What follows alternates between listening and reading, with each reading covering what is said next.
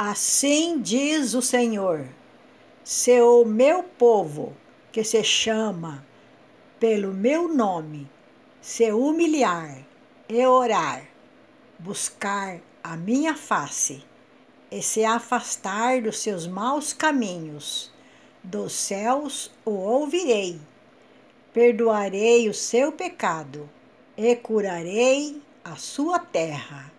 Segundo Crônicas, capítulo 7, versículo 14.